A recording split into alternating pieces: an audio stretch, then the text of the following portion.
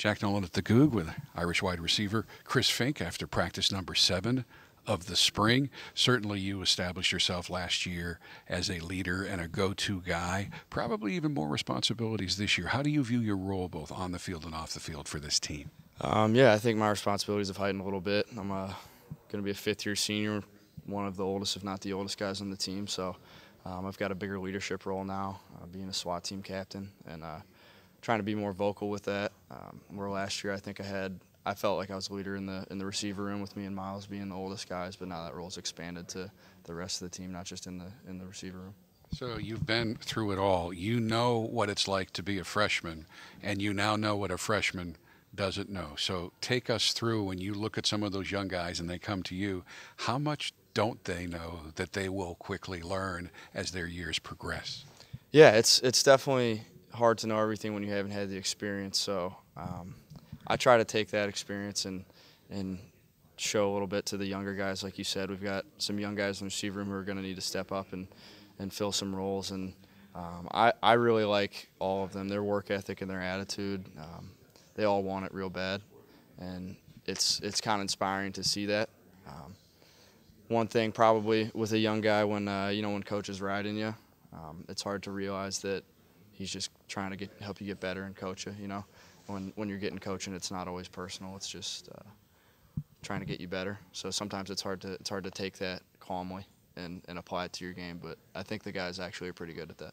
You and Chase are in Stone. You guys are starting. There's a third starting position, and then all those backup positions, guys that will get on the field in this offense right. that they're still battling for. And it really seems like you have a lot of talent behind you. Talk a little bit about the, the young depth that you have in the receiving corps.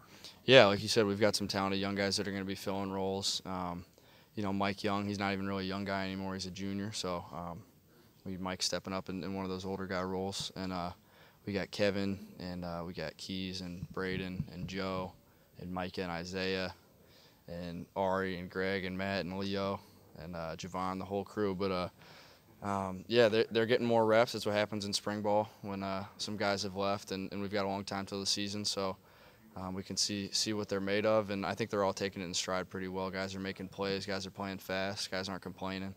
Um, so it's fun to watch them compete. Um, and at the same time, it's not really an animosity between any of them, even though they realize that they'll be competing for playing time. What are the next steps for you on the field? Very successful year last year, but I know you always want to get better. What are those next steps? Um, I think it's playing fast all the time, showing no fatigue ever, playing with no fear, going in there being physical all the time. You saw Chase and Miles real physical last year. I try to get in there. It's it's a little uh, more difficult being my size, but um, I, wa- I watch guys like Julian Edelman in the NFL, and he's cracking heads. So that's something I want to try to do. I want to be more physical. Um, like I said, just play fast at all times and push through any fatigue I have. And I know you love returning punts, and last year they finally, you always wanted to run them all back. Yeah. And last year they finally gave you permission to go ahead at your discretion and run them back. What kind of an impact do you think you can have there this year? Um, hopefully a big one. You know, you never really know the way the ball bounces, the way the way the punt's coming off the foot, and if you're going to get chances or not. Just get a few blocks set up, but hopefully we'll have a, hopefully we'll have something schemed up where we can get some good returns. Ian Book had such a terrific year last year. It was his first year as a starter. What are you seeing in him in practice in terms of how he's getting better? Yeah, I think, uh, like you said, he well he entered last year not as a starter, so he was kind of thrust into that role in the middle of the season. And I think him entering a period like spring ball, being the guy with with nothing else on his back. Um, nothing else really to worry about. I think he's delivering throws with confidence. He's reading defense as well, and he's just playing um, to the top of his ability eight practices left, including the Blue-Gold game. What do the receivers? What the, does the receiving corps need to do? Uh, we need to be more consistent. We need to make contested catches. We need to make plays for our quarterback when he's when he's hot and making throws. We need to hold up our end. Um, we all need to play fast. We all need to play physical. Um, we need to be the excuse me.